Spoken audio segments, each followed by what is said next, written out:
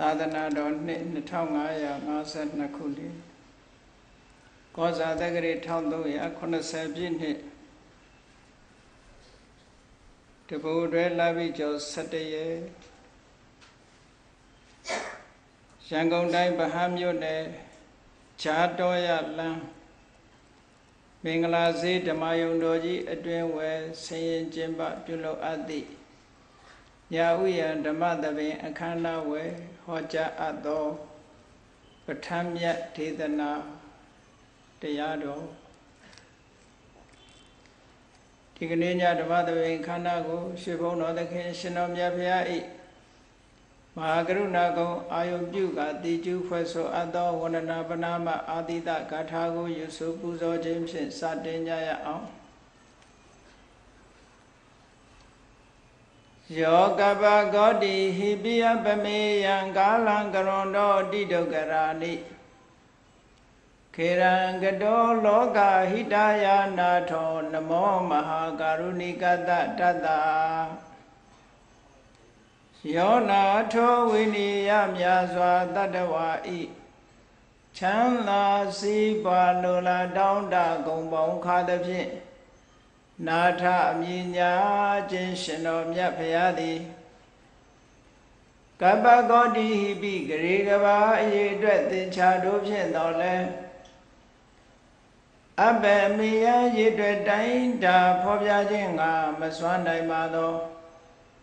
ကာလလေးအသင်ခြေသိမ့်နေကဘာရှိကြသောကာလပတ်လုံး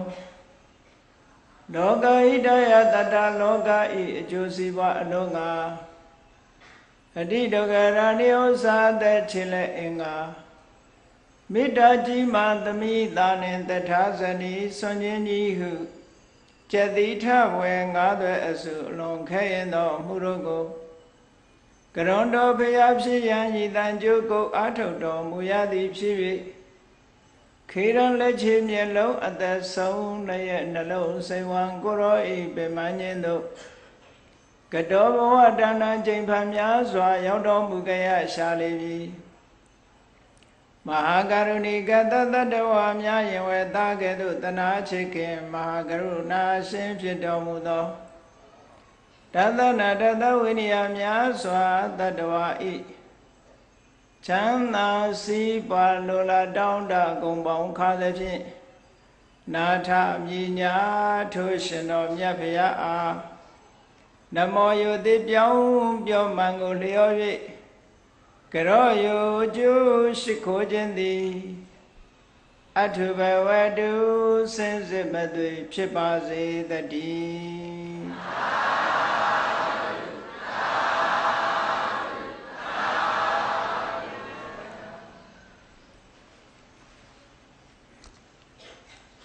ပထမမြတ်ဒေသနာ ဒီတရားကောင်းစဉ်နဲ့ပဲဘုန်းကြီးတို့ဒီဓမ္မယုံကြီးပေါ်မှာ9ရက်တိတိဟောကြားမှာဖြစ်ပါတယ်ဒီကနေ့အပိုင်း1ဟောပြီးနောက်ရက်များမှာအပိုင်း2အပိုင်း3စသည်ဖြင့်ပဋ္ဌာန်းပစ္စည်း24ပစ္စည်းတစ်ခုစီတစ်ခုစီမိမိတို့ဘဝနဲ့ဘယ်လိုဆက်ဆိုင်ပြီးတော့ဘယ်လိုဆက်ဟပ်ယူရမယ်ဆိုတာကို သိရှိနားလည်အောင် apply လုပ်တဲ့နည်းကိုအဓိကထားပြီးဟောပြောမှာဖြစ်ပါတယ်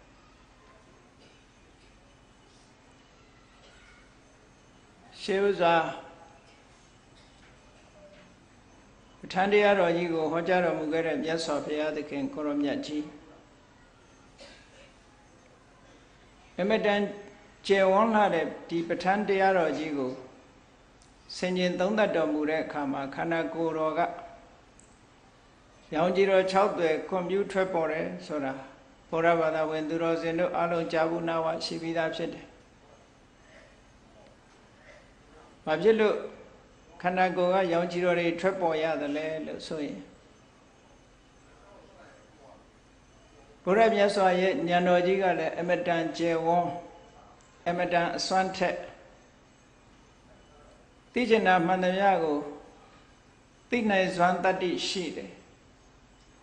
ပဋ္ဌာန်းကျမ်းကြီးကလည်းထိုဉာဏ်ကြီးကျယ်သလောက်ကျက်စားလို့ရအောင်အဆုံးအစကန့်တတ်မရှိအောင်ကျယ်ဝန်းတယ်ကျယ်ဝန်းသည့်အတွက်ကြောင့်မြတ်စွာဘုရားရဲ့ဉာဏ်တော်ကြီးကြီးသလောက်ပဋ္ဌာန်းကြီးကကျယ်သည့်အတွက်ကြောင့်ဘုရားမြတ်စွာရဲ့ဉာဏ်တော်ဟာပဋ္ဌာန်းကျမ်းကြီးမှာ အလွန်မွေးလျော်ပျော်ပိုင်းနှစ်ချိုက်ပြီးတော့ပီတိစိတ်များတဖွာဖွာဖြစ်ပေါ်စေတယ်ထိုပီတိနဲ့ရှင်သောစိတ်တွေကရှင်တော်မြတ်ဘုရားရဲ့ခန္ဓာကိုယ်မှာရှိတဲ့သွေးတွေသားတွေဖြူစင်ဝင်းလက်စေတော့ခန္ဓာကိုယ်ကရောင်ခြည်တွေဖိတ်ဖိတ်ထွက်လာဆိုလိုတာကတော့စိတ်တစရောင်ခြည် mind born ကာလာပေါ့နော် စိတ်ကြောင့်ဖြစ်ပေါ်လာတယ်အဲ့တော့တာမန်ပုဂ္ဂိုလ်တွေလည်းရှိတယ်လေပီတိဖြစ်နေတဲ့အချိန်မှာသူအသားအယောင်ဒေါသဖြစ်နေတဲ့အချိန်အသားအယောင်မတူဘူးအပြင်းမှာအယောင်လက်လက်လက်လက်မထွက်တော့လည်းပဲဒေါသဖြစ်နေတဲ့ပုဂ္ဂိုလ်ရဲ့အသားအယောင်နဲ့ပီတိဖြစ်နေတဲ့ပုဂ္ဂိုလ်ရဲ့အသားအယောင်မျက်နှာရိပ်မှာလာပြီးတော့ပေါ်တာမျိုးတွေရှိတယ်ရသော်ဘုရားစိတ်တော်ကြတော့အလွန်တန်ရှင်းစင်ကြယ်သည့်အတွက်ကြောင့် ခန္ဓာကိုယ်မှာရှိတဲ့စိတ်တစားရုပ်တွေဟာအလွန်တောက်ပြောင်လာစိတ်တစားရုပ်တွေရဲ့အစွမ်းကြောင့်ကမ္မဇဥဒုဇရုပ်တို့ဟာလည်းပဲမိမ့်မိန်ချင်းမရှိတောက်ပြောင်လာတော့ခန္ဓာကိုယ်မှာရှိတဲ့ရုပ်ခန္ဓာရုပ်ပိုင်းဆိုင်ရာတွေဟာအယောင်တလက်လက်အညစ်အကြေးကင်းတော့အယောင်တလက်လက်ဝင်းပြောင်လာတယ်ဒါကြောင့်မို့ခန္ဓာကိုယ်တော်ကအသားတော်သွေးတော်ကစပြီးတော့သက်ဆိုင်ရာ ပင်ကိုရှိတဲ့အနေထအယောင်တွေဟာဖိတ်ဖိတ်တောက်လာပြီးတော့ရောင်ကြီးတော့6သွယ်ဆိုတာဖြစ်လာတာပေါ့ဒါအလုံးသိကြတဲ့အတိုင်းပဲရောင်ကြီးတော့6သွယ်ဆိုတာနီလပိတလောဟိတဩရဒမေဇိထပပတရာတဲ့ညိုသောရောင်ကြီးတော့ရသော်ဘုရားရဲ့ခန္ဓာကိုယ်မှာအညိုရောင်အဆင်းရှိတဲ့သံပင်တို့မျက်လုံး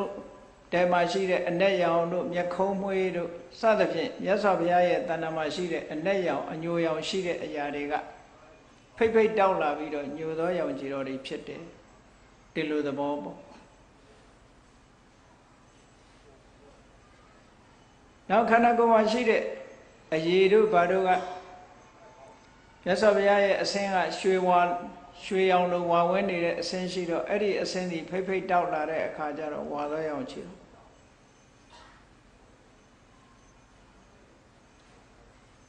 သွားတော်တို့ဘာတို့ကနေဖြူသောရောင်ခြည်တော်တွေထွက်တယ်သွေးတော်တို့ကနေပြီးတော့နေသောရောင်ခြည်တော်ထွက်တယ်နှခမ်းတော်တို့လက်ဖွာတော်တို့နီးနေတဲ့အရာတွေမှန်သမျှကပို့ပြီးတော့နေရပြီးလှပလာတဲ့ရောင်ခြည်တော်တွေဒီလိုထွက်လာနီလပိတလောဟိတဩရတဆိုတဲ့ဒီရောင်တွေဟာတစ်ခုနဲ့တစ်ခု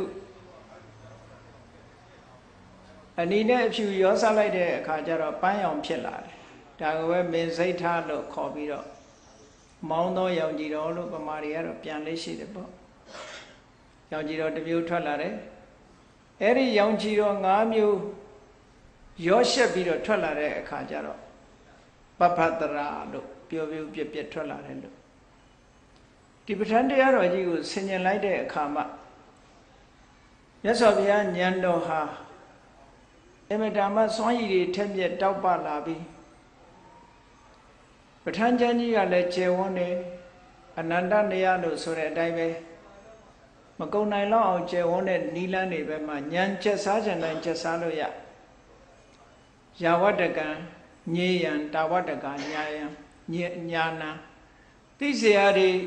အတိုင်းတာရှိသလောက်သိတဲ့ဉာဏ်ကြီးကလည်းလိုက်ပြီးသိနေတယ်ယာဝတ္တကံညေယံတာဝတ္တကညာနံလို့ဆိုတာ ဘုန်းကြီးတို့တွေမှာတော့သိစရာတွေကများပြီးတော့သိတဲ့ညာကအားနည်းနေတယ်ပေါ့မြတ်စွာဘုရားကျတော့သိစရာတွေများသလောက်ညာကြီးကအကုန်လိုက်ပြီးသိနေတယ်ပေါ့တူတူပြောလောကမှာသိစရာများတာတော့မှန်တယ်ပေါ့သို့တော့သိနိုင်တဲ့ဉာဏ်စွမ်းအားကသိစရာမှန်သမျှကိုသိဖို့ဆိုတဲ့စွမ်းအားတော့လူတိုင်းမရဘူးပေါ့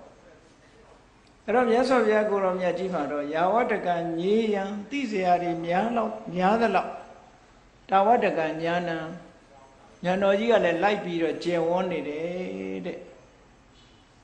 ဟောဒီပဋ္ဌာန်းကျမ်းကြီးကိုဆင်ញင်လိုက်တဲ့အခါကျတော့ ဉာဏ်တော်ကြီးနဲ့သိเสียအာယုန်တွေဟာအံဝင်ခွင်ချဖြစ်သွားလို့ထကရာဆရာကြီးတွေကဥပမာပြထားတယ်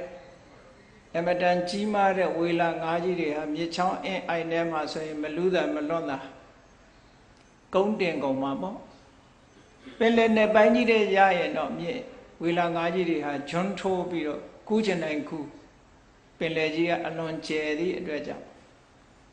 လွန်းလွန်ပြီးတော့ကျက်စားနိုင်တယ်တဲ့အဲ့ဒါမျိုးလို့ပဲမြတ်စွာဘုရားရဲ့ဉာဏ်တော်ကြီးဟာပဋ္ဌာန်းကျမ်းဆင်ញင်သုံးသပ်လိုက်တဲ့အခါမှာပဋ္ဌာန်းကျမ်းကြီးကလည်းကျယ်ဉာဏ်တော်ကြီးကလည်းချီအဝင်ခွင်ကြဖြစ်ပြီးတော့ပီတိတွေဖြစ်လာလိုက်တာ ဖြစ်လာတဲ့ပီတိ စိတ်ဆွမ်းအားတွေကထုတ်လုပ်လိုက်တဲ့ရုပ်ဟာအလွန်စင်ကြယ်တန်ရှင်းလာပြီးခန္ဓာကိုယ်ကဖိတ်ဖိတ်ဖိတ်ဖိတ်နဲ့ရောင်ကြီးတော်တွေထွက်လာတယ်လို့တလို့ပြောတာနော်အဘိဓမ္မာခုနှစ်ကျမ်းဆင်ញင်သုံးသတ်တဲ့ယရဏကရတတ္တဟယရဏစံကြောင်းတော်မှာနေထိုင်ရင်မြတ်စွာဘုရားအဘိဓမ္မာကျမ်းတွေကိုဆင်ញင်သုံးသတ်ပြီးခန္ဓာဝါမြောက်တဲ့အခါကျတော့မှဒီအဘိဓမ္မာတရားကိုဟောကြား ဟောကြားတဲ့ထဲမှာအဘိဓမ္မာတရားထဲမှာတော့အကျယ်ဝန်းဆုံးအခက်ခဲဆုံးနည်းနည်းဆုံးလို့ပြောတဲ့ပဋ္ဌာန်းကျမ်းကိုနောက်ဆုံးမှဟောကြားတော်မူခဲ့တယ်အနန္တနယသမန္တပဋ္ဌာနာနီးတွေကလည်းဆုံးစားမရှိအောင်နီးမျိုးစုံနဲ့ဟောဒီပဋ္ဌာန်းချမ်းကြီးကိုမြတ်စွာဘုရားသခင်ကိုရောမြတ်ဟာနီးမျိုးစုံနဲ့ခွဲချမ်းစိတ်ဖြာပြီးတော့ဟောလိုက်တာ မဆုံးနိုင်တော့အောင်ကျေဝန်းများပြလာတယ်ပေါ့ဒါဝရိသနတ်ပြည်မှာတက်ပြီးတော့ဟောတဲ့ပဋ္ဌာန်းကျမ်းကြီးကအခုဒီကနေ့လူပြည်မှာမှတ်တမ်းတင်ထားတဲ့ပဋ္ဌာန်းကျမ်းနဲ့ပြောင်များစွာကျေဝန်းတယ်လို့ဆိုရလူပြည်မှာရှိတဲ့ပဋ္ဌာန်းကျမ်းကရှင်သာရိပုတ္တရာမထေရမြတ်စီစဉ်ပြီးတော့ထားတဲ့အချင်းမျှတာဖြစ်တဲ့ပဋ္ဌာန်းကျမ်းပဲဖြစ်တယ် ဒါကြောင့်မို့အဘိဓမ္မေဝါစနာမေခောတာရိမုဒ္ဒထေရပဘောတဲ့လူပြည်လူလောကမှာဟောဒီအဘိဓမ္မာကျမ်းတွေရဲ့အစဉ်ဟာအဘိဓမ္မာကျမ်းတွေစီရင်ထားပုံဟာရှင်သာရိပုတ္တရာမထေမြတ်ရဲ့စီရင်ချက်တွေဖြစ်တယ်ရှင်သာရိပုတ္တရာကစတင်လာတယ်လို့ဒီလိုဆိုတာဒါဝိဒ္ဓမှာဟောတဲ့တရားဆိုရင်ဒီတယ်မကကျေဝန်းများပြားလာတယ်လို့ဒီလိုမှတ်ယူကြရမှာ ပဋ္ဌာန်းကျမ်းကြီးရဲ့ကျေဝန်းနည်းနည်းပုံကိုသင်ကြားသူတိုင်းဟာအကဲခတ်မိကြပါတယ်ပဋ္ဌာန်းကျမ်းကြီးကိုရှေးတုန်းကတည်းကသာသနာတော်မှာနေထိုင်ကြတဲ့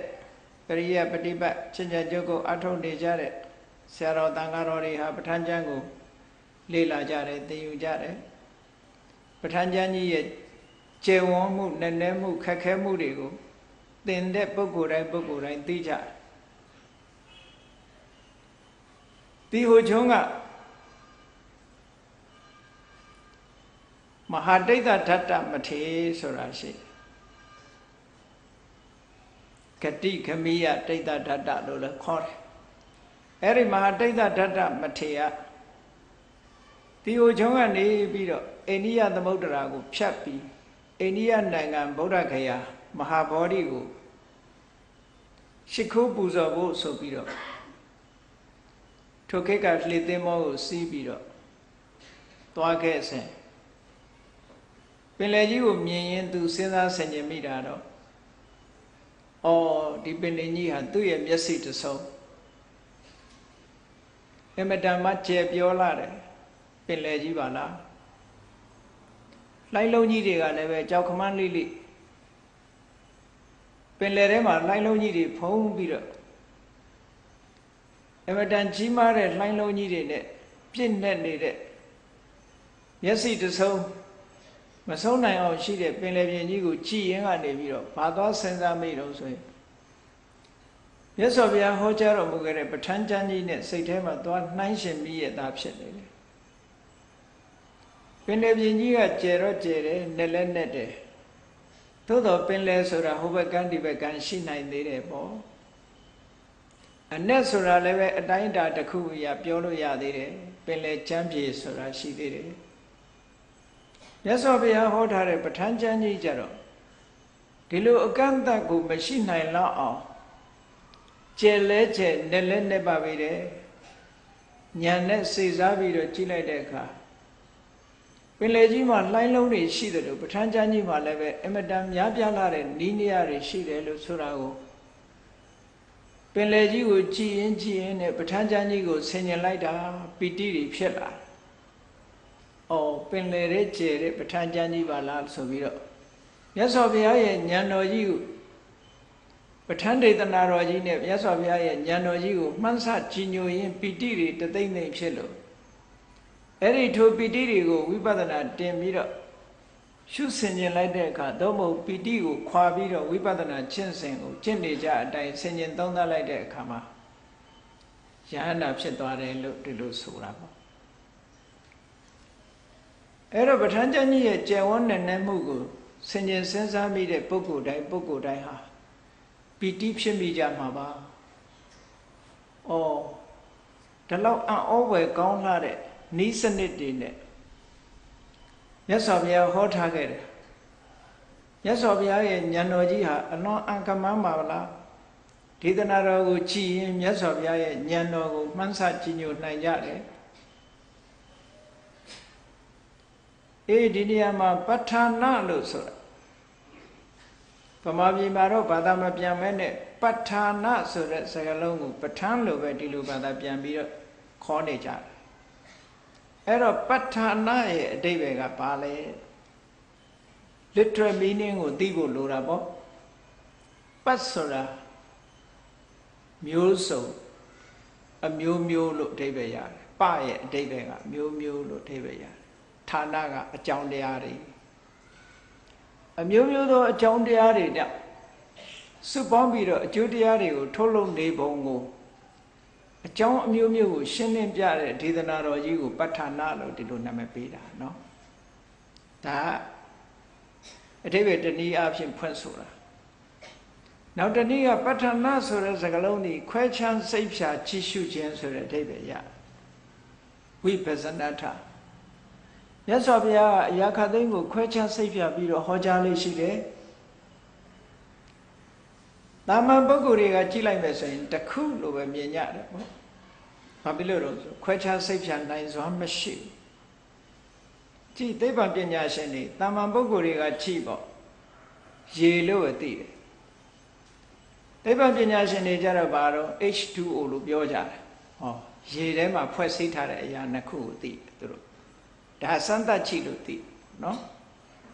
မြတ်စွာဘုရားကြတော့ရေစီဆိုတဲ့ထဲမှာရုပ်ရှိခုရှိတယ်ဆိုတော့ခွဲပြရေဆိုတာရှစ်ခုအပေါင်း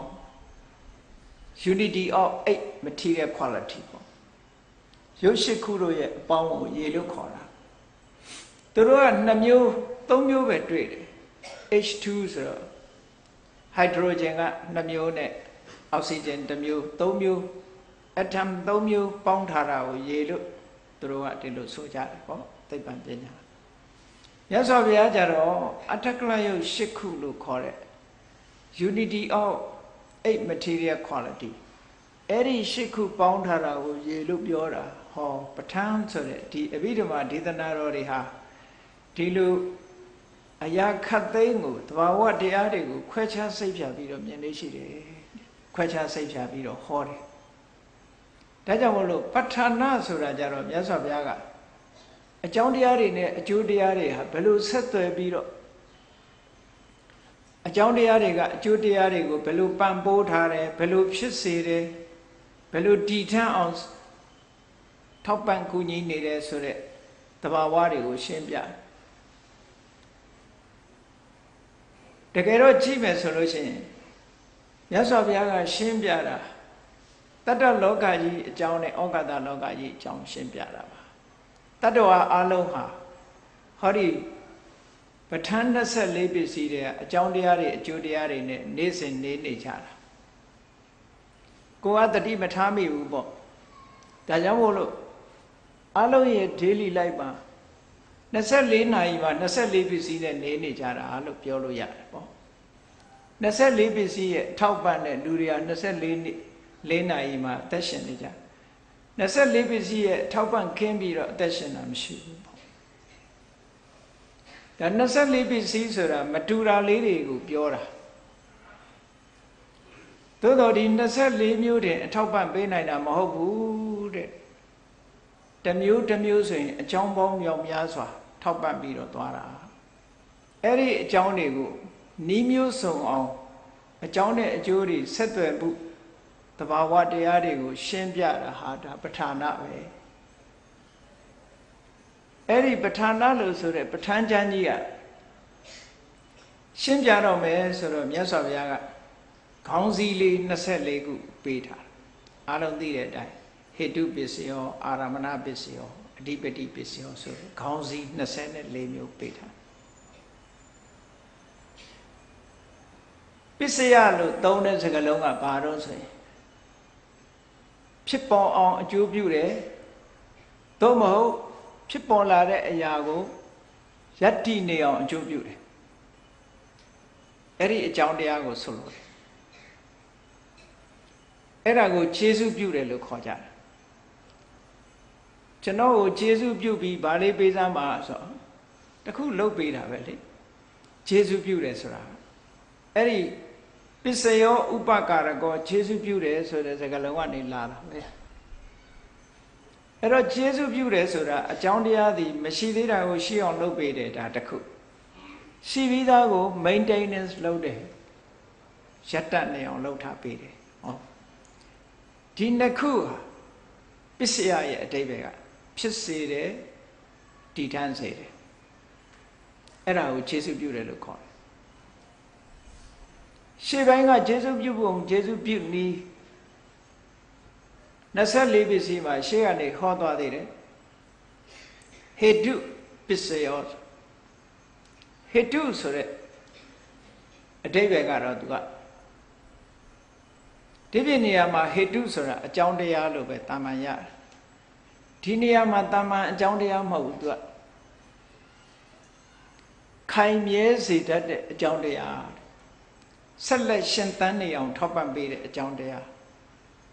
ဖြစ်ပေါ်စေပြီးဆက်လက်ရှင်သန်နေအောင်ထောက်ပံ့ပေးတဲ့သဘာဝတရားကိုဟေတုလို့ခေါ်တယ်အာရမဏဆိုတာစိတ်ရဲ့ပျော်မွေ့ရာစိတ်ရဲ့ဖြစ်ပေါ်ရာအကြောင်းတရားတွေအာယုံအကြောင်းတရားတွေအဓိပတိဆိုတာကြတော့ဖြစ်ပေါ်လာတဲ့စိတ်ကိုလွှမ်းမိုးထားနိုင်တဲ့သဘာဝတရားကိုပြောတာ အနန္တရတို့သမဏန္တရတို့ဆိုတာရှေ့စိတ်နဲ့နောက်စိတ်ရှေ့ပိုင်းမှာဖြစ်တဲ့နန္တရားနဲ့နောက်ပိုင်းမှာဖြစ်တဲ့နန္တရားတွေရဲ့အကြားမှာဘာမှအခြားအကွယ်မရှိပဲနဲ့ရှေ့တရားကနောက်တရားကိုကျေစုပြုတဲ့သဘောကိုပြောတယ်အဲ့လို24ပစ္စည်းမှာဆံရဆံရသဘာဝတရားတွေနဲ့မြတ်စွာဘုရားက24မျိုးလို့ ခြေစုပြုပုံခြေစုပြုနည်း24မျိုးကိုခေါင်းစည်းလေးချမှတ်ပြီးတော့မြတ်စွာဘုရားပေးတယ်ပေးပြီးတဲ့အခါကျတော့မှအသေးစိတ်တစ်ခုစီတစ်ခုစီဟောအဲ့ဒီထဲမှာအဘိဓမ္မထသင်္ဃဟာကျမ်းမှာ24ပစ္စည်းကိုအကျဉ်းချုပ်လိုက်လို့ရှိရင်တဲ့အာရမဏပစ္စည်း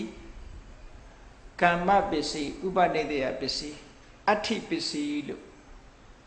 အာရမဏဥပနိဒေယကမ္မအဋ္ဌိ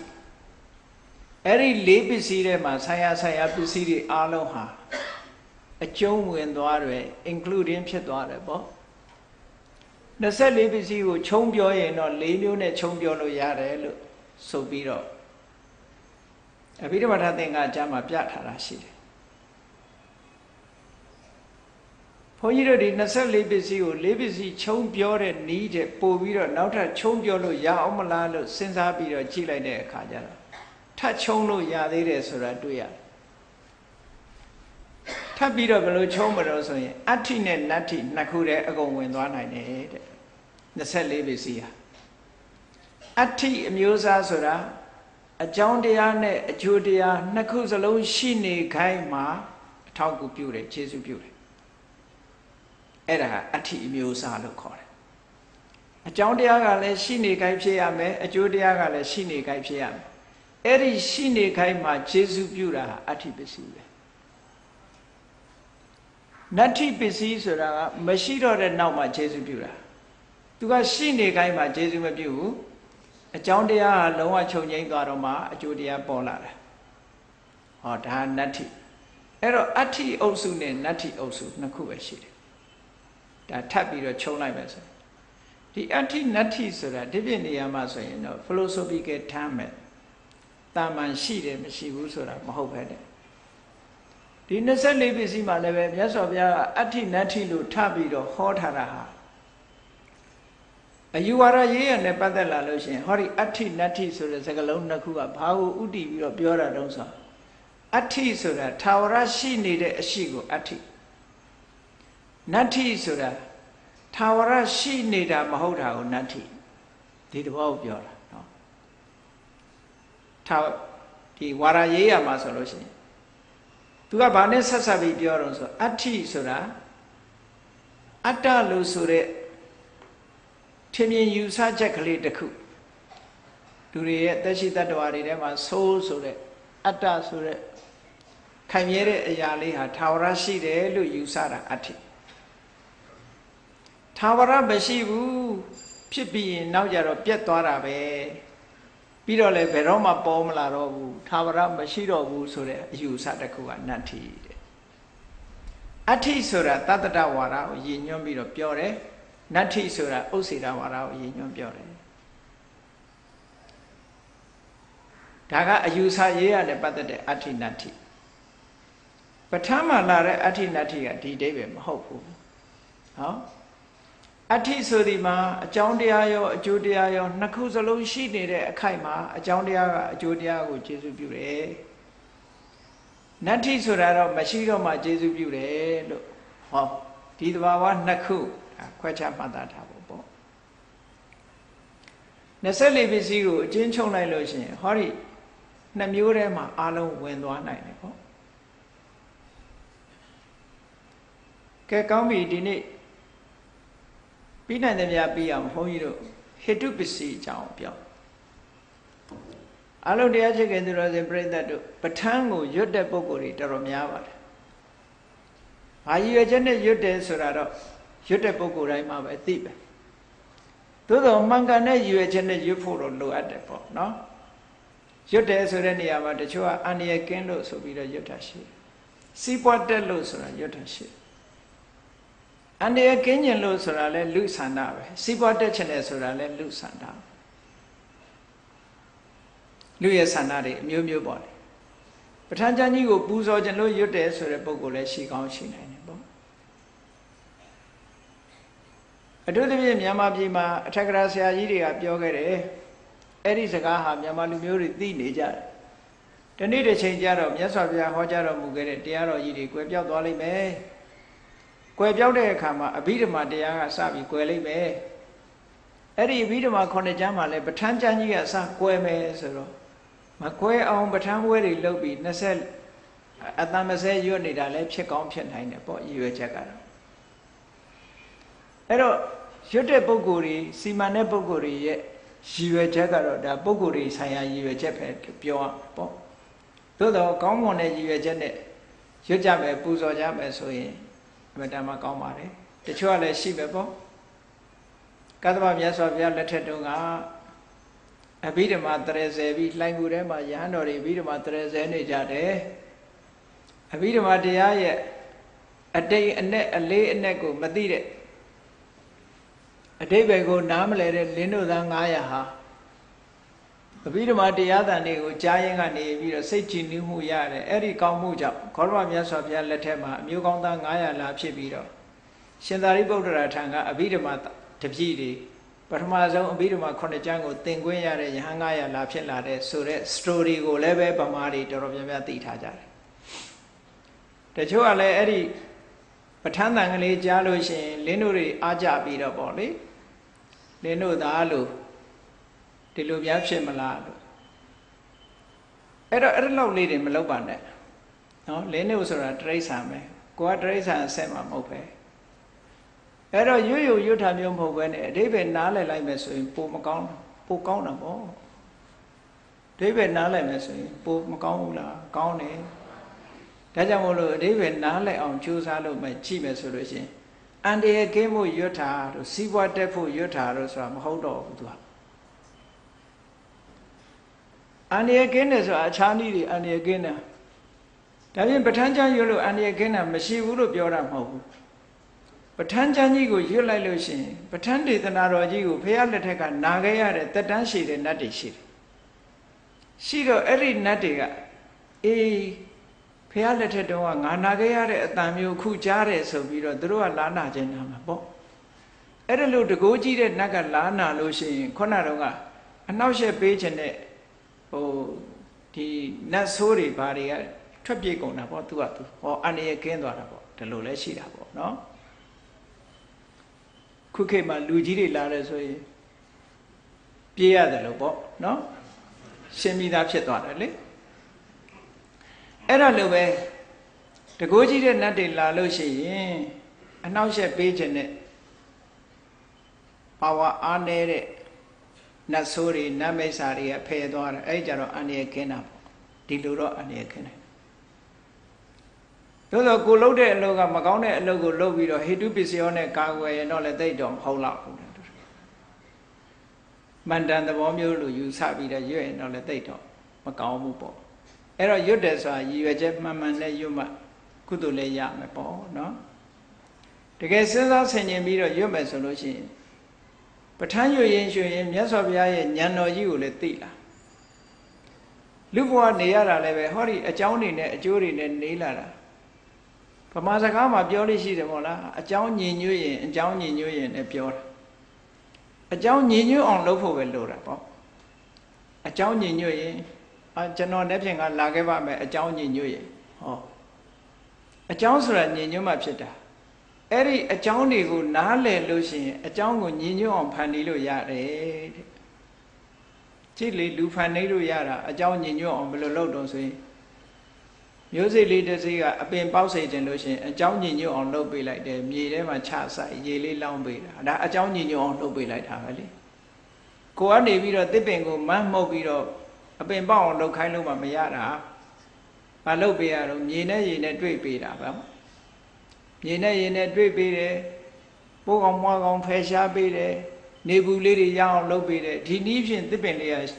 မျိုးစိလေးကအပင်လေးပေါက်လာပြီးတော့ရှင်သန်းလာတာမဟုတ်လားဒါအကြောင်းတရားတွေညင်ညွတ်အောင်လုပ်ပေးတာသဘောပဲအဲ့ဒါလိုပဲပဋ္ဌာန်းတရားတော်တွေရဲ့သဘာဝကိုသိလာလို့ရှိရင်ကိုယ်စိတ်ထဲမှာဖြစ်ပေါ်လာတဲ့အခြေအနေအရရဟာဘာကြောင့်ဖြစ်တယ်ဆိုတာကိုနားလေသဘောပေါက်လာ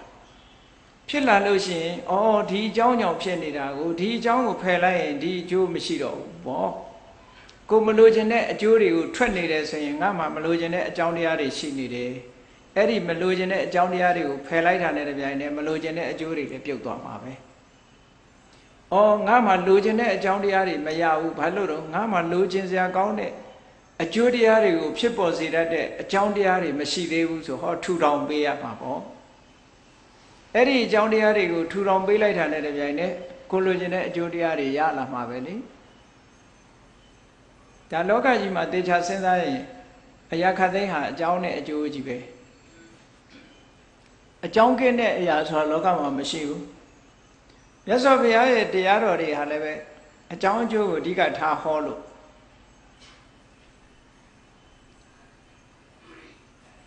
ပထမဆုံးအခြေခံအဖြစ်မြတ်စွာဘုရားသခင်ကိုရောမြတ်ကသစ္စာလေးပါးကိုဟောတယ်သစ္စာလေးပါးဆိုတာကြည့်လေဒုက္ခဆိုတာတလောကကြီးကိုမြတ်စွာဘုရားကဒုက္ခလို့နာမည်တက်လိုက်တယ်။ဘာဖြစ်လို့ဒုက္ခလို့နာမည်တတ်တာတော့ဆိုဆင်းရဲလို့ဒုက္ခလို့ပြောတာမဟုတ်ဘူး။ဒီထဲမှာချမ်းသာတာတွေလည်းပါတယ်နော်။ဘာဖြစ်လို့ဒုက္ခလို့နာမည်တတ်လိုက်တယ်လဲလို့ဆိုရင်ဒုဆိုတာခြေနှက်เสียမကောင်းဘူးခက ကိုထင်တဲ့အတိုင်းဘာမှမရှိဘူးအဲ့ဒီအထိပ္ပယ်နဲ့ဟောတာဒုက္ခရဲ့အထိပ္ပယ်ဒုจิตတ်ဆရာမကောင်းတဲ့အပြင်ခဘာမှမရှိဘူးကိုထင်တာတခုမှမဟုတ်ဘူးလို့ပြောတယ်ဟုတ်တယ်လေလူတွေထင်နေတာနဲ့တခြားစီပဲကိုယ်တဏ္ဍကိုကိုတွေးပြီးတော့ငါလို့ထင်နေတယ်တကယ်တော့ငါဆိုတာပြစရာလည်းဘာမှမရှိဘူး ပြเสียမရှိသည့်အတွက်ခြေတတ်เสียမကောင်းအဲ့ဒီစကလုံးနှစ်ရပေါင်းစပ်ပြီးတော့ဒုက္ခလို့ဟောထားတာအဲ့တော့ဒုက္ခဆိုတာအကြောင်းကြောင့်ဖြစ်လာတဲ့အကျိုးတရားတွေအလုံးကိုရည်ညွှန်းပြီးတော့မြတ်စွာဘုရားဟောထားတာအဲ့ဒီဒုက္ခမှာဆံရအကြောင်းတရားကိုဒုက္ခသမုဒယလို့သစ္စာလေးပါးမှာအဓိကအားဖြင့်တဏှာကိုဟောတယ်သို့သော နိဗ္ဗိဒဗာဂိယတုတ်မှာကြတော့ဒုက္ခသမုဒယကိုပြိဿသမုပ္ပါထည့်ဟောတယ်မြတ်စွာဘုရားဒါလည်းတတိထားစရာအချက်တစ်ခုပဲเนาะ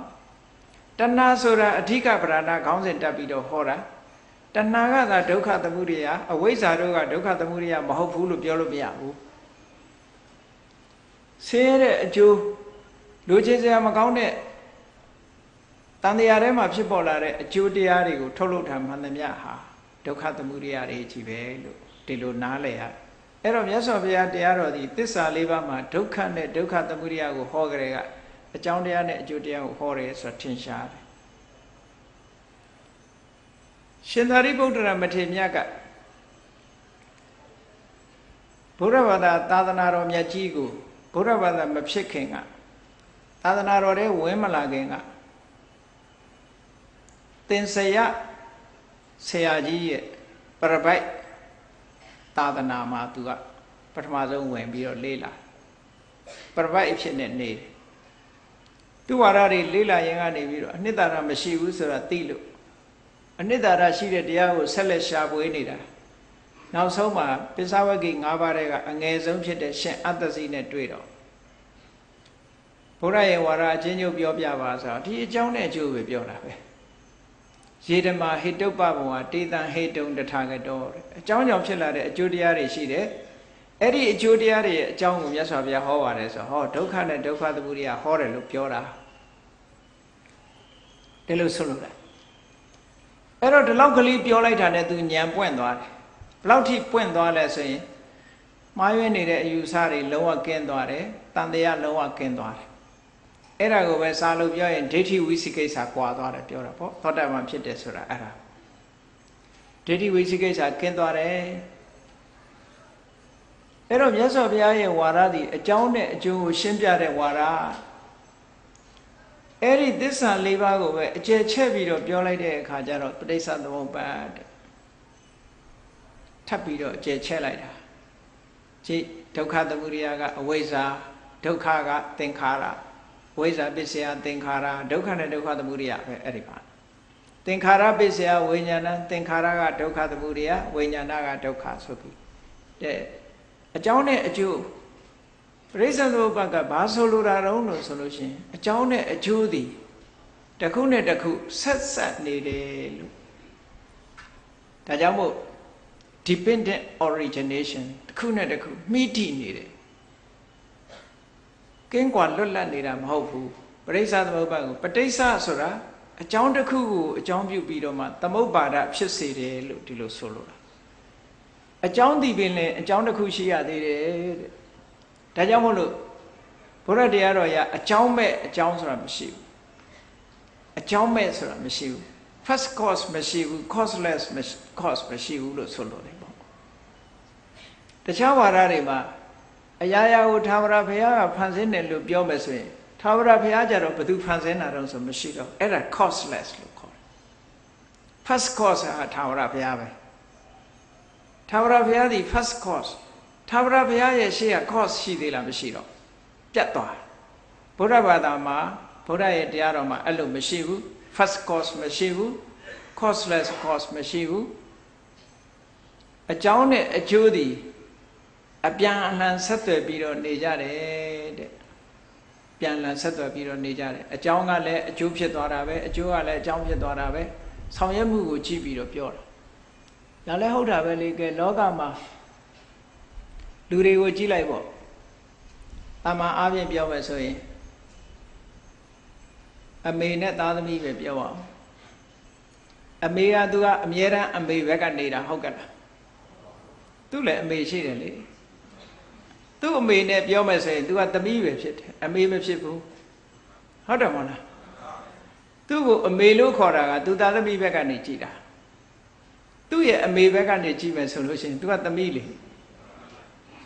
ဟောသူသားသမီးဘက်ကကြည့်မှ तू ကအမေဖြစ်တယ်ထို့တူပဲ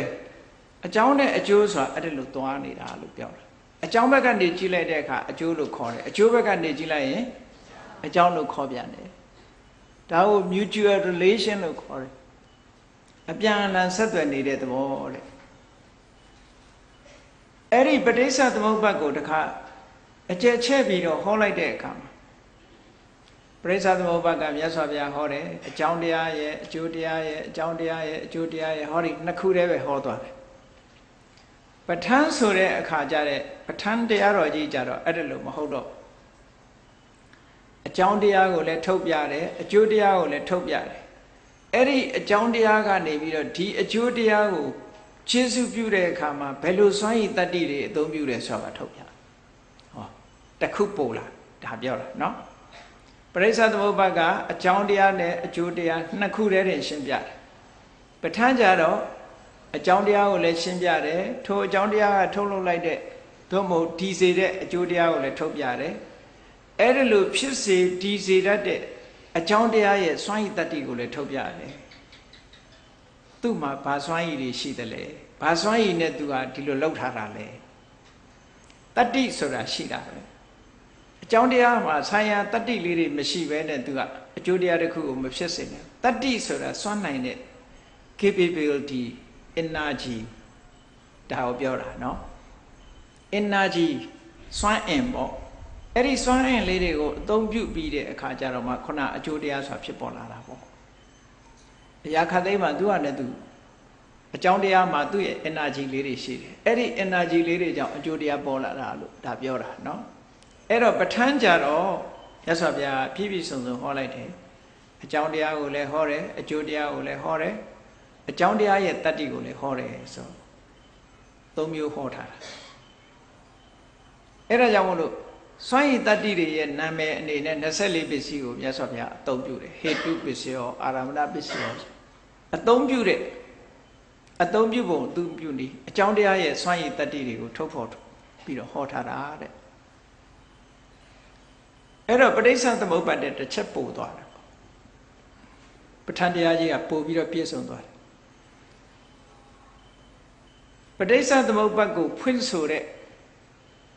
ရှင်မဗုဒ္ဓဂောသအထက်ကရာဆရာကြီးကပရိစ္ဆသမုပ္ပါဒ်နဲ့ပဋ္ဌာန်းကိုရောပြီးတော့ဖွင့်ပြတယ်ပရိစ္ဆသမုပ္ပါဒ်ကြီးတတ်တတ်ဆိုလို့ရှိရင်ပဋ္ဌာန်းမပါဘူးအဲ့တော့ပရိစ္ဆသမုပ္ပါဒ်နဲ့ပဋ္ဌာန်းကိုတွဲပြလိုက်တဲ့အခါကျတော့ပို့ပြီးတော့နည်းနည်းလာတယ်ပေါ့ဒါကြောင့်မို့ဒီပရိစ္ဆသမုပ္ပါဒ်ကို ရှင်းပြဖို့ရကြတော့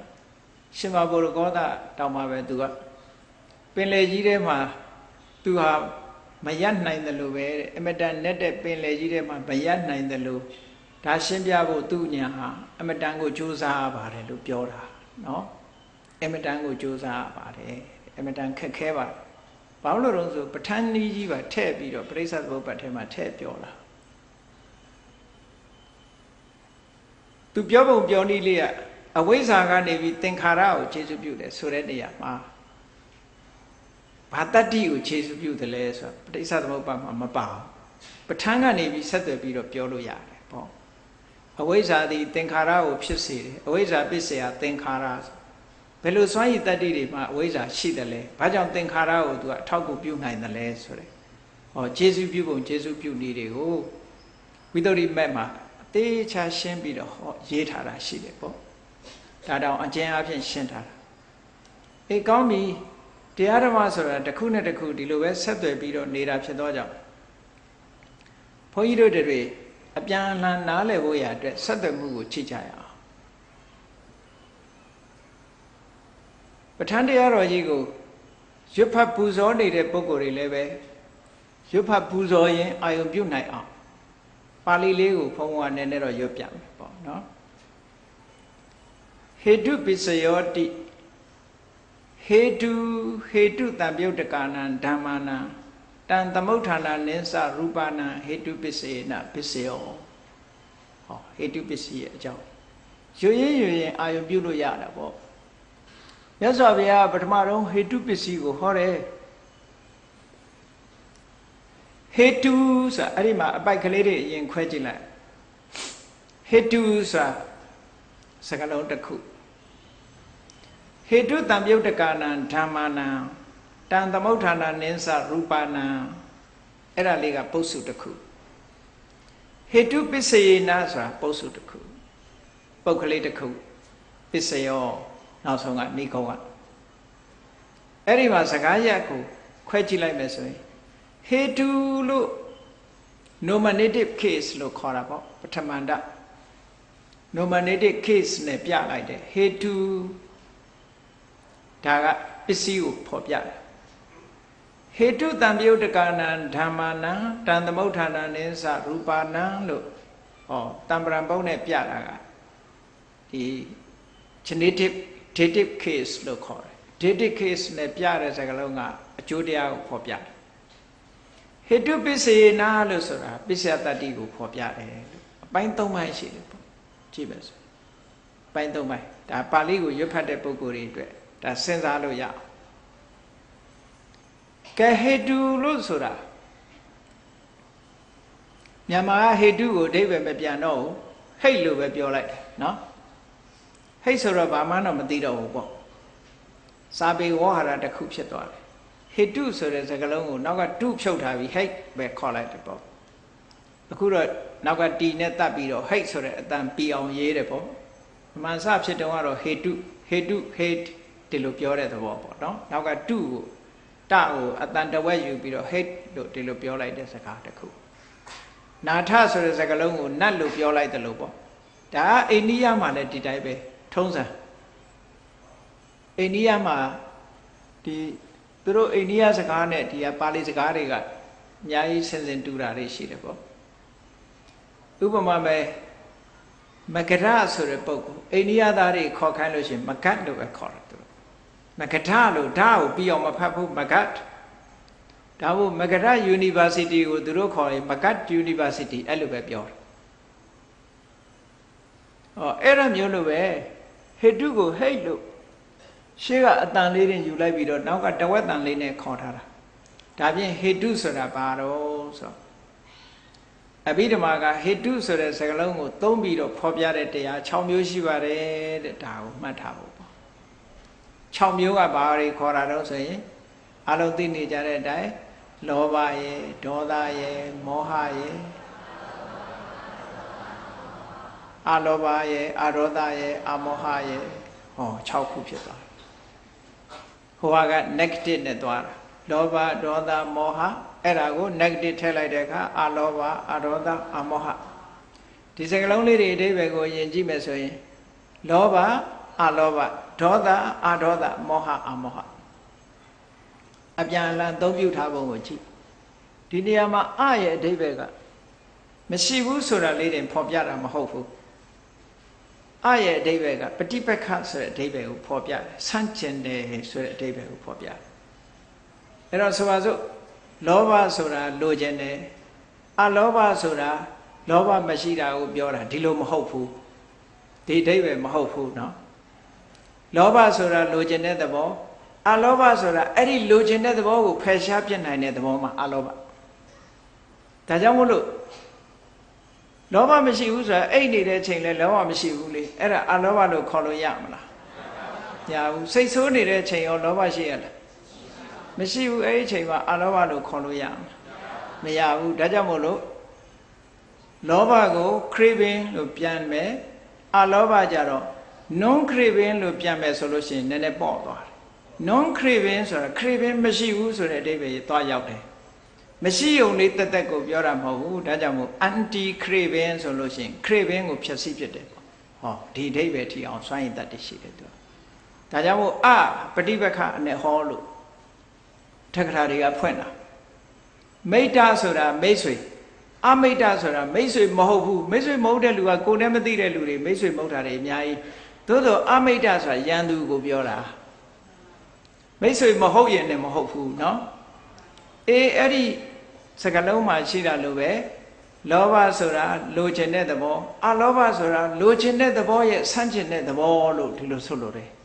မလိုချင်ယုံတသက်ကိုပြောတာမဟုတ်ဘူးဒီလိုနားလည်ရမှာเนาะ ဒေါသဆိုတာလည်းထို့တူပဲအင်္ဂလိပ်လိုပြန်တော့ hatred လို့ပြန်တယ်မုန်းတီးခြင်း မုန်းတီးခြင်းတစ်မျိုးတည်းတင်ဒေါသမဟုတ်ဘူး fear ကြောက်တာလည်းဒေါသပဲကြောက်တာလည်းဒေါသလို့ခေါ်တယ်မုန်းတာလည်းဒေါသပဲကြောက်တာလည်းဒေါသပဲဟောအဒေါသကြတော့အမုန်းမရှိုံတက်တက်ကိုအဒေါသခေါ်တာမဟုတ်ဘူးအကြောက်မရှိုံတက်တက်ကိုအဒေါသလို့ခေါ်တာမဟုတ်ဘူးအဲ့ဒီကြောက်ရွံ့ခြင်းမုန်းတီးခြင်းကိုဖယ်ဖြတ်နိုင်တဲ့သဘာဝတရားမှာအဒေါသ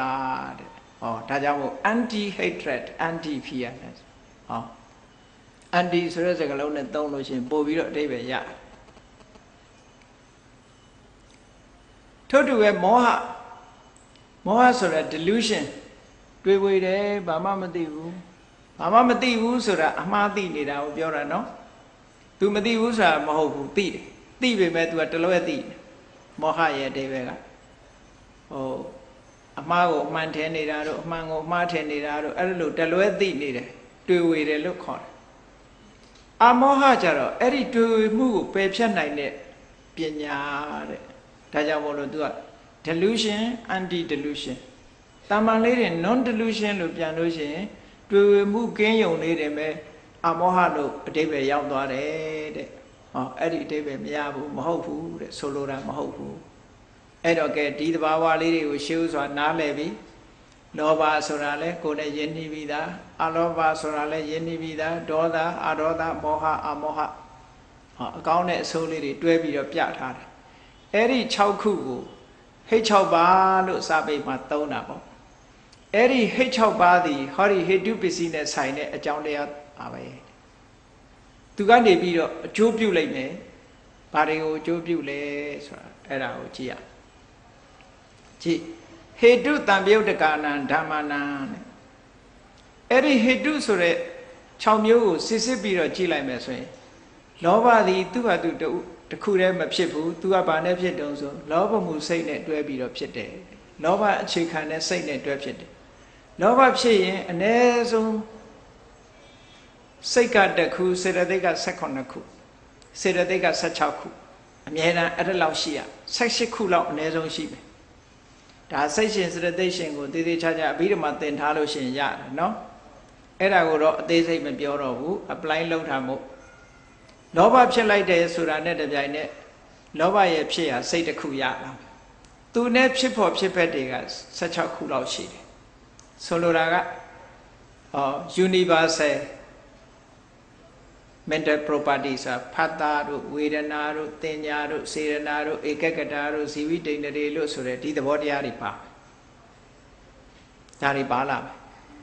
ပြီးတော့ဝိတက်တို့ပါလာမယ်ဝိสารတို့ပါလာမယ်နော်ပီတိတို့ပါလာမယ်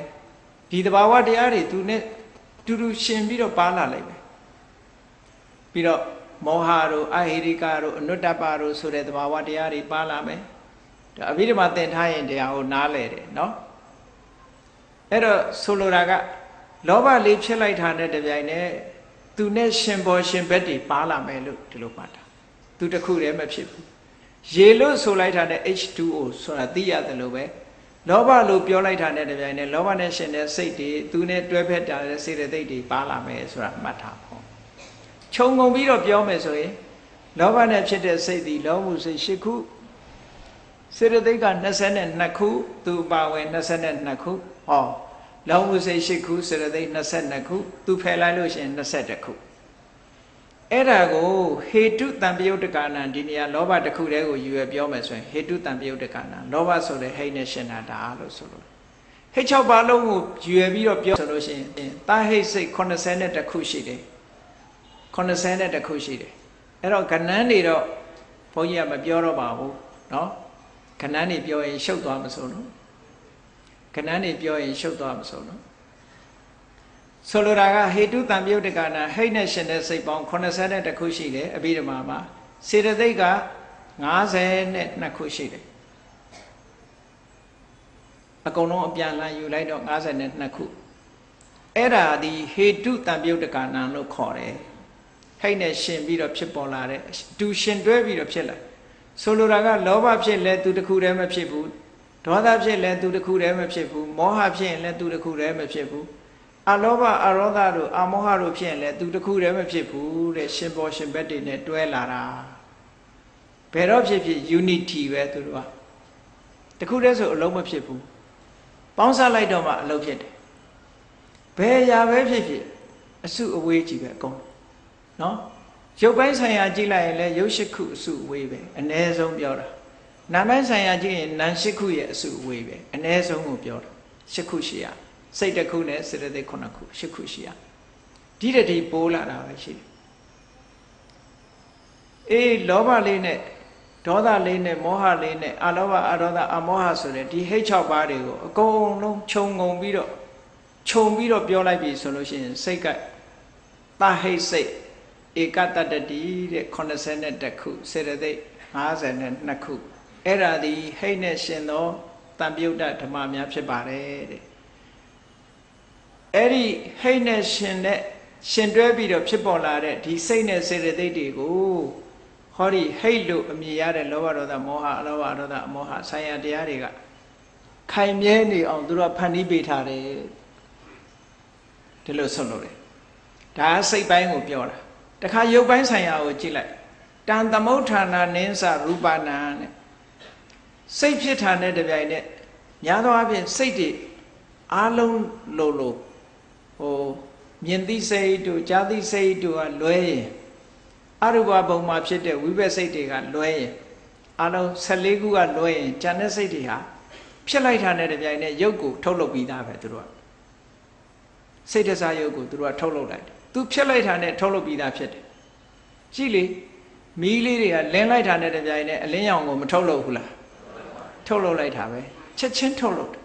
အဲ့ဒါမျိုးလိုပဲကိုယ်တဏ္ဍာမှာစိတ်လေးတစ်စိတ်ဖြစ်လိုက်တာနဲ့အဲ့ဒီစိတ်ကလေးဒီရုပ်ကိုထုတ်လုပ်ပြီးသားဖြစ်နေပြီအဲ့ဒါကိုစိတ်တစားရုပ်လို့ခေါ်တယ်ဒီလောဘနဲ့လောဘနဲ့ဒီဒီဟိတ်ဟိတ်နဲ့ရှင်တဲ့တဘာဝတရားတွေဖြစ်လိုက်တာနဲ့တပြိုင်နက်သူတို့ကရုပ်ကိုလည်းထုတ်လုပ်တယ်တဲ့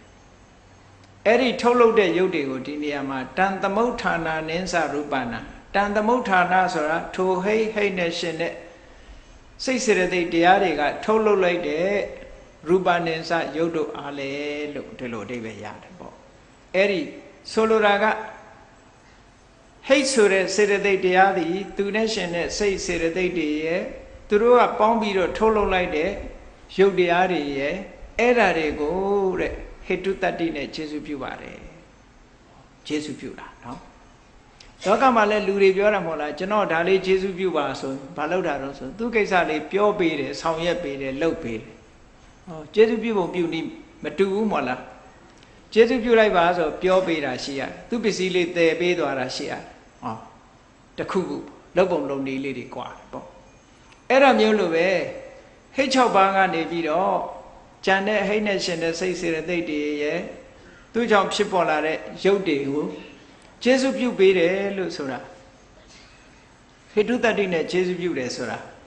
ဘာကိုပြောတာတုံးလို့ဆိုလို့ရှိရင်အဲ့ဒီတဘာဝဟိတ်တရားတွေရှိနေသေးသမျှဟောဒီအကျိုးတရားတွေဟာဆက်လက်ရှင်သန်နေတယ်လို့ဒီလိုပြောတာဟိတုတွေရဲ့စွမ်းရည်တတ္တိဆိုတာဘာကိုပြောတာတုံးဆိုရင်ဥပမာမဲ့ တစ်ပင်မှာအမြင့်ရှိနေသေးသမျှကာလပတ်လုံးအဲ့ဒီအမြင့်ကိုအကြောင်းပြုပြီးတော့အရွက်တွေထွက်လာမယ်အကိုင်းတွေထွက်လာမယ်အပွင့်တွေထွက်မယ်အသီးတွေထွက်မယ် seasonally ပေါ့မဖြစ်ဘူးလားအမြင့်ရှင်သန်နေသေးသမျှကာလပတ်လုံးဟောဒီတစ်ပင်ဒီအရွက်ထက်ချိန်ကျထွက်လိမ့်မယ်အကိုင်းတွေပွားစီးလာတဲ့အချိန်အကိုင်းပွားစီးလာလိမ့်မယ်အပွင့်ပွင့်ချိန်ကျတော့ပွင့်လိမ့်မယ်အသီးသီးချိန်ကျတော့သီးလိမ့်မယ်အကယ်၍အဲ့ဓာတွေတစ်ခုမှ ဆက်ပြီးတော့မဖြစ်အောင်ဆိုရင်ဘာလုပ်အောင်အဲ့ဒီအမြင့်ကိုဖြတ်တာအဲ့ဒီအမြင့်ဖြတ်လိုက်တာနဲ့တပြိုင်နက်ဂျန်တဲ့ဒီအကိုင်းအခက်တွေအပွင့်တွေအသီးတွေဆိုတာမလာတော့လာတော့အဲ့ဒါမျိုးလိုပဲလောဘဒေါသမောဟဆိုတဲ့ဒီသဘာဝတရားတွေအလောဘအရောဓအမောဟဆိုတဲ့သဘာဝတရားတွေရှိနေသေးသမျှဆိုင်ရာဆိုင်ရာအကြောင်းတရားတွေဟာဆိုင်ရာဆိုင်ရာအကျိုးတရားတွေဟာ ဆက်လက်ပြီးတော့ရှင်သန်နေမှာပဲလို့ဒါပြောတာเนาะကဲ apply လုပ်ကြည့်အောင်လောဘဖြစ်တယ်ဆိုပါစို့လောဘဖြစ်တယ်ပစ္စည်းလေးတစ်ခုကိုလိုချင်တဲ့လောဘစိတ်လေးဖြစ်လာအဲ့ဒီလောဘဆိုတဲ့သဘောလေးပေါ်လာကြတဲ့က तू ဘာတွေတွေးနေလဲစဉ်းစားကြည့်လိုချင်တဲ့စိတ်နဲ့ပဲတွေးမနေဘူးလား အဲ့ဒီလိုချင်တဲ့အတွေးတွေဆိုတာလောဘနဲ့ရှင်းနေတဲ့စိတ်တွေဖြစ်နေတာပဲလေ လိုချင်တဲ့အတွေးတွေသူပြောရှိနေတယ်ဟုတ်ကဲ့လားလောဘလေးရှိနေသမျှလိုချင်တဲ့အတွေးတွေတွေးနေလိမ့်မယ်ပြီးတော့စကားပြောလိုက်တာနဲ့တပြိုင်နက်သူလိုချင်ကြောင်းမှပြောလိုက်သူပါဇက်ကပြောတယ်အဲ့ဒါပြောလိုက်တဲ့အတန်ဒီစိတ်ဓာတ်ဖုံး mind form matter ပဲပြောလိုက်တဲ့အတန်လေးကဘာကြောင့်ထွက်လာတော့ဆိုရင်ဟောဒီလိုချင်တဲ့စိတ်ကနေထုတ်လုပ်လိုက်တာအဲ့ဒီအတန်လေးအဲ့ဒီအတန်လေးလည်းပဲ तू က ဆက်လက်ပြီးတော့ရှိနေမှာသူလိုချင်တဲ့စိတ်မကုံသေးသမျှလိုချင်ကြောင်းသူပြောလိုက်မယ်ကြုံတိုင်းအဲ့ဒါကယုတ်တရားကိုထိမ့်သိမ့်ဖြစ်နေပုံကဲသူလှုပ်လှုပ်ရှားတာသွာလာတာတွေကရောဒီလိုချင်မှုနဲ့ပတ်သက်တာမဖြစ်ပေဘူးလားဖြစ်တယ်ဟောလောဘလေးရှိနေသမျှလောဘနဲ့ပတ်သက်တဲ့အတွေးလေးတွေသူရှိနေမယ်ဒါစိတ်ပိုင်းဆိုင်ရာလောဘနဲ့အတွေးရှိသလိုလောဘနဲ့ပတ်သက်တဲ့အပြောလေးတွေပြောနေလိမ့်မယ်လောဘကိုအခြေပြုပြီးတော့ သွားလာလောက်ကင်လှုပ်ရှားနေလိမ့်မယ်တဲ့ဟောဒါယုတ်တရားတွေဖြစ်နေပုံပြောဆိုနေတာရဲ့သွားလာလောက်ကင်နေတာယုတ်တရားတွေဖြစ်နေတာဟုတ်ကဲ့လားကဲလိုချင်တဲ့စိတ်ခုန်သွားပြီလောဘမရှိတော့ဘူးဆိုကြတဲ့က तू အဲ့ဒီအတွေးလည်းမတွေးတော့ဘူးအဲ့ဒီအပြောလည်းမပြောတော့ဘူးအဲ့ဒီအလုပ်လည်းမလုပ်တော့ဒီလိုဆိုလို့လေနော်ကဲထို့တူပဲဒေါသဆိုရင်ဘယ်လောက်ထင်ရှားတယ်လူတွေမှာ စိတ်ဆိုးနေတဲ့အချိန်ကြည့်စိတ်ဆိုးနေလို့ရှိရင်ကြည့်တွေးနေဘာတွေတွေးမချေနှက်တာတွေပဲတွေးနေဒေါသဖြစ်စရာတွေတွေးနေအဲ့ဒါဘသူကနေပြီးတော့ဒီအတွေးကိုဆက်လက်ရှင်သန်စေတာတော့ဆိုရင်ဒေါသဆိုတဲ့ဟိတ်တရားကနေပြီးတော့ဟေတုတ္တိနဲ့ဂျေစုပြုတ်နေလို့ဖြစ်တာဟေတုတ္တိနဲ့သူကဆပ်ဖို့လုပ်ဘယ်လိုဆပ်ဖို့လုပ်တာတော့ဆိုရင်ကြည့်အမြင့်ကနေပြီးတော့မြေစီရေစီကိုစုပ်ပြီးတော့တင်ပေးနေသည့်အတွက်ကြောင့်ဒီသိပ္ပဉ္ဇီက အသီးတွေအရွက်တွေအပွင့်တွေရှင်သန်နေတာလေအဲ့ဒါလိုပဲဟောဒီလောဘဟာဒေါသဟာအမြင့်ပဲအဲ့ဒီအမြင့်ရှိနေသေးတယ်များသူကမကျေနပ်တဲ့အတွေးတွေတွေးနေမယ်အဲ့ဒါမကျေနပ်တဲ့စိတ်တွေပေါ်တာဒါတန်တံပြုတ်တကနိသဓမ္မဟေတုတံပြုတ်တကနိသဓမ္မနာမယ်အဲ့ဒီမကျေနပ်တဲ့အတွေးပြောယူနေမကဘူးသူတယောက်တည်းဆိုရင်တက်တက်ခေါက်ခေါက်ဖြစ်နေပဲဟောအဲ့ဒီတက်ခေါက်ဆိုတဲ့အတန်ဟာဒါ စိတ်တစားရုပ်ပဲเนาะအဲ့ဒီအတန်ကိုဘယ်သူကထုတ်လုပ်တာတော့မကျေနပ်တဲ့ဒေါသကနေပြီးတော့ဒီစိတ်တွေကထုတ်လုပ်လိုက်တာဟုတ်ကဲ့လားဩမကျေနပ်တဲ့အတွေ့လဲတွေ့မယ်မကျေနပ်တဲ့အပြောတွေလဲပြောလိုက်မယ်အတန်ပလန်တွေလဲပေးလိုက်မယ်ဟောနောက်ဆုံးကြတော့ तू မကျေနပ်တဲ့အလုပ်ဒေါသရှိနေပြီဆိုရင် तू ကလေခြေတော့ပိမဲ့ဆောင်းအောင်နင်းသွားတာပဲ တကားပိမဲ့ဆောင်းပိတ်ချင်ပိတ်တာပစ္စည်းပိမဲ့တာမန်ချတာမဟုတ်ဘူးလွတ်ချလိုက်တာဟုတ်ကဲ့လားဒေါသဖြစ်လာကြတဲ့အမူအရာတစ်ခုကကြမ်းတမ်းနေစိတ်ပြေသွားရင်တော့အဲ့ဒါလို့မဟုတ်တော့ဘူးစိတ်ပြေသွားတာနဲ့တပြိုင်နက်ခြေနှက်တဲ့အတွေးတွေတွေးနိုင်ငံခြားလူတွေတခါတလေအတော်ရည်စရာကောင်းတယ်နော်စိတ်ဆိုးနေတဲ့အချိန်မှာဆိုလို့ရှိရင်အိုးတယောက်နဲ့တယောက်ရိုက်ကြတော့မလို့နှက်ကြတော့မလို့ စိတ်လေးလည်းပြေသွားရောဆွီတီးတဲ့ဟန်နီးတဲ့ဖြစ်ကုန်အဲ့လိုတွေဖြစ်သွားအရင်တော့ကတော့ဆွီတီတို့ဟန်နီတို့မဖြစ်ဘူး bloody hell လောက်တယ်အဲ့ဒီလိုတွေဆဲမလားရိုက်မလားနှက်မလားဟောဒေါသလေးလည်းခြေသွားရော I'm so sorry လောက်လာနော် I apologize မင်း so sorry ဖြစ်ကုန်ညာ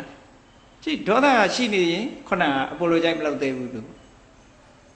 ဒီလိုဖြစ်တာအဲ့ဒါကိုမြတ်စွာဘုရားဟေတုတတ္တိလို့ပြောတာဟေတုတတ္တိလို့ပြောတာဟေတုပစ္စည်းဆိုတာဒါပြောတာကဲအဲ့ဒါဆိုရင်အန္တရာယ်ကင်းဖို့ရပါလားဒီထဲမှာအန္တရာယ်ကင်းတယ်ဆိုတာခုနတနည်းပဲဖြစ်နိုင်တယ်ဟုတ်ကဲ့လားအဲ့တော့အရေးကြီးတာကတော့ကိုယ့်အကူဟာငါမကျင်တတ်တဲ့အတွေးတွေဘာလို့တွေးနေတာဩဒီဒေါသကြောင့်ပဲငါဒီဒေါသဖယ်မဖြစ်မယ်ဆိုတော့အတွေးတွေးရမှာ ငါဘာလို့မကျင်တတ်တဲ့အတွေးတွေတွေးနေငါဘာလို့တယောက်တည်းတက်ခေါက်နေလဲတက်ခေါက်နေလဲငါဘာလို့ကြမ်းကြမ်းထမ်းထမ်းနေလုံနေလဲဆိုလို့ရှိရင်ဩငါထဲမှာဒေါသရှိနေတာဒီဒေါသလေးကိုဖြောက်လိုက်တာနဲ့တပြိုင်နက်ခုနဟာတွေမလာတော့အကုန်လုံးသွားပြောလဲယဉ်ကျေးသွားပြီသွားလာတာလဲညင်သာသွားပြီဒေါသမရှိလို့ရှိရင်ခုန45လောက်တာမရှိတော့ဟုတ်ကဲ့လားအဲ့ဒီသဘောကိုပြောတာ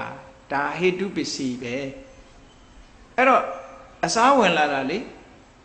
လောဘငြိမ့်သွားတဲ့အခါဒေါသလေးငြိမ့်သွားတယ်ဆိုတော့သူကသူအလိုလျောက်ငြိမ့်တာမဟုတ်ဘူးဘာဝင်လာတာငြိမ့်တာတုံးဆိုရင်အဒေါသကနေငြိမ့်ပေးလိုက်တာ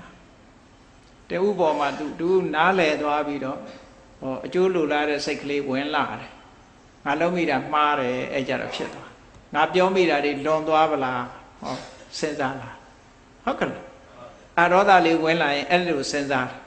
ဒေါသဝင်နေတော့ကတော့အိုးနဲတော်နေသေးတယ်ပြောမယ်သူဆဲမယ်အာယပါယပြောမယ်အဲ့ဒီဒေါသလေးလည်းပျောက်သွားပြီးတော့အာဒေါသသဘောလေးမေတ္တာသဘောလေးလည်းဝင်လာလိုက်ရောခုနဖြစ်သွားပြန်ရောဟောဒေါသပျောက်သွားတော့ဘသူရောက်လာအာဒေါသပျောက်ရောက်လာပြန်တာပဲနော်လောဘပျောက်သွားပြန်လို့ရှင်လဲခုနအာလောဘရောက်လာပြန်အာလောဘရောက်လာတဲ့အခါကျဘာဖြစ်တော့လှူလှူရမယ်တန်းရမယ်ဘ သူအကူညီပေးရမလဲဆိုတဲ့အတွေးတွေတွေးလာတယ်ကိုယ့်ပစ္စည်းကိုဆုံးလို့ချင်တယ်ကျွေးချင်တယ်မွေးချင်တယ်ဆိုရင်ဟောတို့အတွေးတွေတွေးလာတယ်သူကဒီအတွေးမျိုးတွေတွေးလာတယ်ပြောလာတယ်ဆိုးလာတယ်လောက်ကင်လာတယ်ဟောအလောဘဝင်လာလို့ရှင်တယ်လို့လောဘဝင်လာရင်အဲ့ဒီအတွေးတွေအကုန်ပြောက်ကုန်ပြန်ရောထို့တူပဲမောဟမောဟဝင်လာရင်ဘယ်လိုဖြစ်မောဟဝင်လာလို့ရှင်တန်တရားတွေဖြစ်လာ ဟိုပဋ္ဌာန်းဆိုတာဘုရားဟောတာဟုတ်ကဲ့လား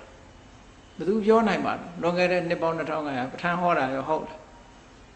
ဒါရွတ်နေလို့ရောကုသိုလ်ရတာဟုတ်ကဲ့လားဟောအတွေးတွေဝင်လာပြီးတန်တရားတွေဖြစ်လာဒါမောဟဝင်လာစိတ်တွေကမတည်ငြိမ်ဘူးလွင်ပါလာတယ်ဟောမောဟမှုစိတ်တွေဖြစ်လာဟောမောဟရှိနေရင်အဲ့ဒီအတွေးတွေဝင်နေမှာပဲဒါကမောဟကနေပြီးတော့ကြည့်သူကနေပြီးတော့ထုတ်လုပ်နေတာနော် မောဟကထုတ်လုပ်နေသည့်အတွက်ကြောင့်တန်တရားတွေဝင်လာတယ်ဟိုမငြိမ်သက်တဲ့အတွေးတွေတွေးလာတယ်မယုံကြည်တဲ့အတွေးတွေဝင်လာတယ်ဟော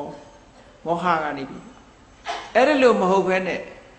တည်တည်ချာချာအသိဉာဏ်နဲ့ဆင်ញင်စဉ်းစားတတ်လာလို့ဉာဏ်ရလာပြီဆိုကြတဲ့ခုနဟောတန်တရားဆိုတဲ့အတွေးတွေမလာတော့ဘူးကုန်းတန်တရားဆိုတဲ့အတွေးတွေမလာတော့ဘူးစိတ်ပြန့်လွဲ့နေတာမရှိတော့ဘူးအမောဟဆိုတဲ့အဉာဏ်ရလာတဲ့အခါကျတော့ဒါတွေပျောက်သွားပြန် အဲ့ဒါကိုပြောလို့တာဟေတုပစ္စည်းဆိုတာဒီအဓိပ္ပာယ်ကိုဆွလို့ပါတယ်လောဘတွေဒေါသတွေမောဟတွေဆိုတဲ့ဒီအကြောင်းတရားတွေဟိတ်တရားတွေမိမိတို့တဏ္ဍာမှာရှိနေသေးတယ်များအတွေးတွေလည်းဆက်ပြီးတော့ဖြစ်နေမယ်ပြောမှုဆိုမှုတွေလောက်ကင်မှုတွေလည်းဆက်ပြီးတော့ဖြစ်နေမယ်ဒါကိုဘယ်သူကနေပြီးတော့ဖြစ်ပေါ်စေတာတုံးဆိုရင်လောဘဒေါသမောဟဆိုတဲ့ဒီဟိတ်တရားတွေကနေပြီးဒီဆိုင်ရာအကျိုးတရားတွေကို ရှင်သန်နေအောင်ဆက်လက်ဖြစ်နေအောင်လုပ်ပေးထားတာလို့ဒါကိုဟိတုတ္တိလို့ခေါ်ပါတယ်အဲ့ဒါကိုမြတ်စွာဘုရားကဟောတာနော်ဟေတုဟေတုတံပြုတ်ကနံဓမ္မနံတံသမုဋ္ဌာနာနိသရူပနံဟေတုပစ္စေနပစ္စယောဟေတုလောဘဒေါသမောဟလောဘဒေါသအမောဟလို့ဆိုရဲဟိတ်6ပါးတရားတို့သည် ဟေတုတံပြုတ်ကနံထိုဟိတ်6ပါးနှင့်ရှင်ပြီးတော့ဖြစ်ပေါ်လာတဲ့စိတ်စေတသိက်တရားတို့အား၎င်းတန်သမုဋ္ဌာနံထိုဟိတ်နှင့်ဟိတ်နှင့်ရှင်တဲ့စိတ်တရားတို့ရဲ့စိတ်တရားတို့အကြောင်းပြုပြီးတော့ဖြစ်ပေါ်လာတဲ့ရူပနဲ့စာယုတ်တရားတို့အား၎င်းဟေတုပစ္စေနာဟေတုတတ္တိဖြင့်ပစ္စယောဥပကာရကောကျေစုပြုတတ်သည်ဟောတိစင်စစ်မသွေဖြစ်ပါပေတော့ဤဣတိဤသို့ဘဂဝါရွှေဖုံးတော်သခင်ရှင်တော်မြတ်ဖရာသည် အဝေါစကောင်းစွာမသွေဟောကြားတော်မူခဲ့ပါပေတည်း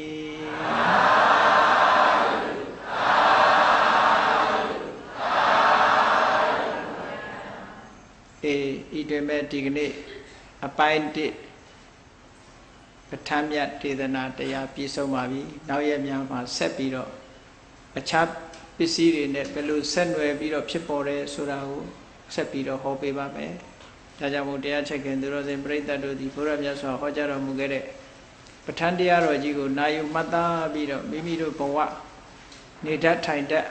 အကြောင်းတရားအစစ်မှန်တွေကိုသိပြီးတော့အကြောင်းဉာဏ်အကျိုးဉာဏ်တွေကိုရရှိပြီးတဲ့အခါမှာဘုရားမြတ်စွာဟောကြားတော်မူခဲ့တဲ့အကြောင်းတရားတို့ရဲ့ခင်းရာဖြစ်တဲ့နိဗ္ဗာန်ချမ်းသာကိုကိုယ်စီကိုယ်ငါမျက်မှောက်ပြုနိုင်ကြပါစေ။